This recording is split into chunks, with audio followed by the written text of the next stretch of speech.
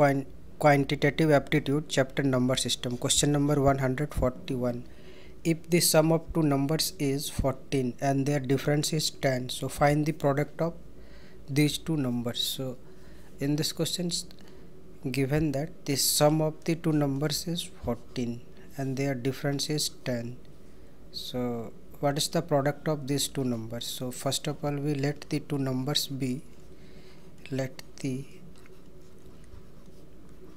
two numbers be x and y. And according to the question their sum is equal to 14 and their difference is 10 suppose this one is the first equation and this one is the second. And after adding we get 2x is equal to 24 so x is equal to 12 so putting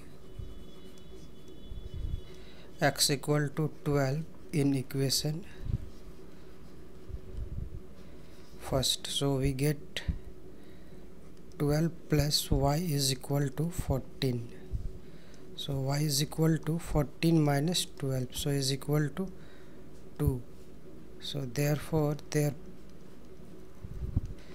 their product is equal to xy so is equal to 12 into 2 so 12 to the 24 so which is the required answer?